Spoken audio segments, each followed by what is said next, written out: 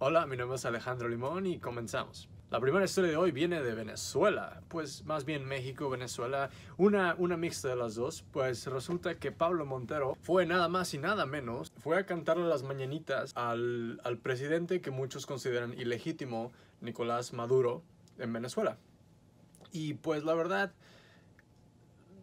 no, no, es buen tiempo. Este, él acaba de salir de este show. No sé si está obligado. Dicen que el, el video dice que él, lo invitaron a él. Entonces no sé si, si ya tenía el compromiso. No sé si, si, es, es, por... Hay otros motivos tras de ello. Ya ves que él es un poquito... El Maduro es un poquito de este...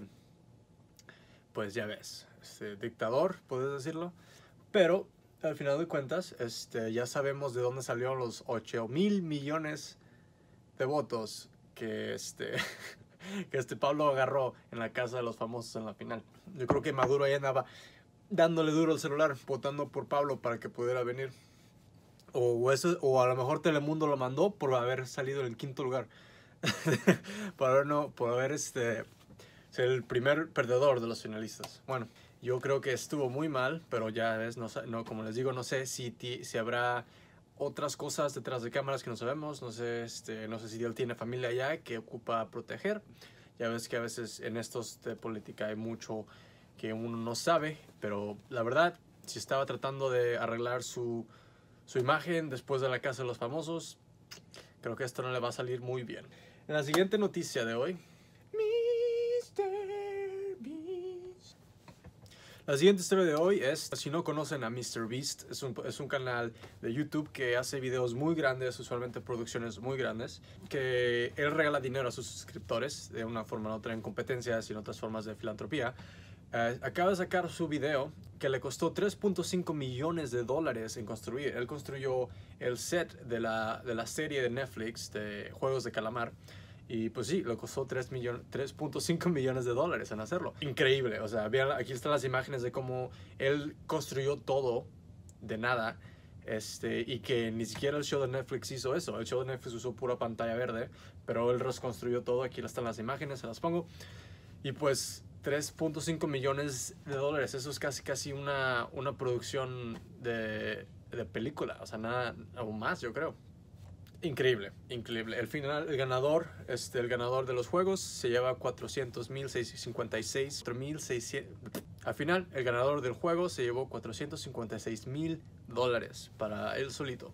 Bueno, la siguiente historia es de los Grammys. Los Grammys, no sé si alguien está poniendo atención, no sé si alguien todavía ve esos, esos este, shows de, de premios. Este, yo estaba en Jasper el fin de semana y vi que estaban los American Music Awards y la verdad vi poquita, poquito de eso y no me interesó. No sé si la gente todavía está interesada en, en esos tipos de shows, pero los Grammys anunciaron su lista de nominaciones para el 2022.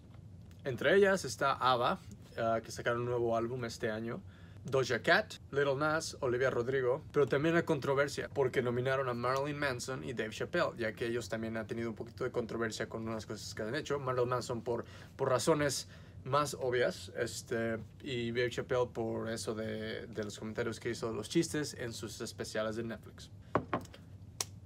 Y la verdad, yo creo que no voy a ver ese show. Uh, nunca me ha interesado, pero al final de cuentas a lo mejor lo hago. Si ustedes me piden contenido, a ellos les doy. La última historia creo que es un poquito más seria, entonces vamos a acabar con esto. Y pues el, el jurado de Ivory, uh, de, de, los tres señores que, que este, a final de cuentas fueron a, persiguieron a matar a un, un hombre en Estados Unidos, fue, todos fueron sentenciados este, culpables gracias a, a los jurados. Y la evidencia prometida, no sé si han visto el video, no se lo recomiendo, es un poquito cargado, o sea, se ve que los tres están persiguiendo a este hombre que no tiene armado, corriendo por su vida mientras lo siguen con armas este, para pues cazarlo, yo creo, porque según ellos era un ladrón. Y pues en América, desafortunadamente, esto suele pasar.